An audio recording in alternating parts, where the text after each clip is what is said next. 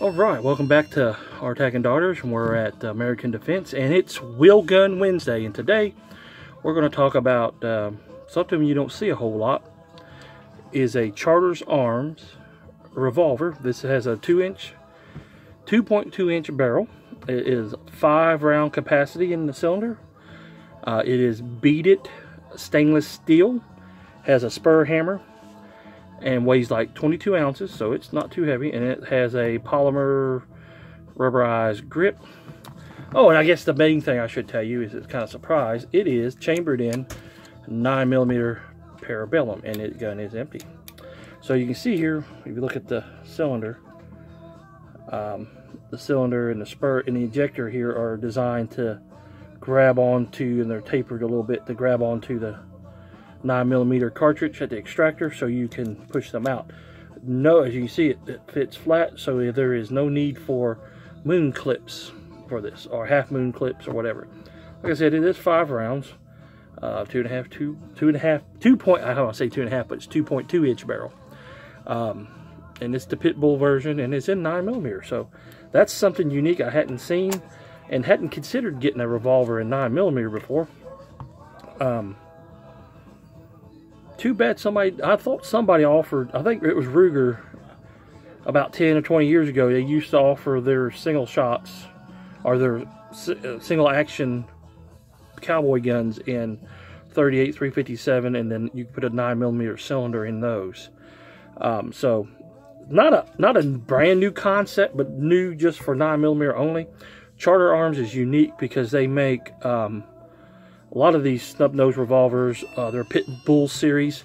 Uh, they make them in 44 special, and I would like to get one of their 44 special. They make them in 45 ACP, 40 Smith & Wesson, 9 millimeter like this one, and 380, um, and 32 and 327 Federal Magnum. So they make them in a wide range of calibers, from anywhere from the 2.2 inch barrel all the way up to 9 inch barrels, depending on the models. Um, let's take a look at this on the single action. We have that. Great single action trigger, double action trigger. It it's pretty heavy. It's got a heavy double action. Nothing um, that you wouldn't expect out of a revolver. Let's see here. sights, you get your rudimentary uh, standard revolver sights there, your sight picture. Um, on this one, I think I put a little bit of orange paint down here to help that out so I get a better sight picture. See if you try it one hand. Very manageable, uh, even double action. Of course, if you're using this, you're gonna your adrenaline be rushing, so you'll be able to pull that trigger no problem. It does have a lock. It does have the transfer bar safety right there.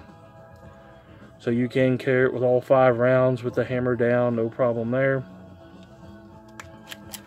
Um, let me know in the comments below if you got any of these pit bull guns, especially the 44 special, because that's what I'm looking for. Um, of course, in this day and age, you get we can get what we get, right? they're flying off the shelves here. So uh, Charter Arms are, is made in um, Shelton, Connecticut. So it's a made in a USA gun. USA's USA. We didn't know that. Um, so let's see what we got here. What's the part number on this bad boy? Yep, Charter Pitbull model. There's your your serial number there. Stock number. There's your stock number. So there's the stock number we're looking for if you're looking in for a 9mm revolver. Um, good backup gun. Weighs 22 ounces, so yeah, it could be a backup gun. Uh, good truck gun. Plus, it shoots 9mm. Of course, when the price of 9mm goes back down, um, it'll be very affordable to shoot come later on this year, hopefully if everything goes right. Um, if not, if we all lose our 10 round or lose our high our standard capacity mags and have to go to 10 round mags, then this makes it a very valuable option because it only holds five rounds. So uh, you can save money on practice shooting with your your charter 9 millimeter bulldog versus shooting your uh, P320 or something like that with 20 rounds in it because you're going to want to empty the magazine no one goes to the range and only shoots 10 rounds, right? You're going to shoot 50 to 100. So, anyway, pretty decent gun here from Charters Arms.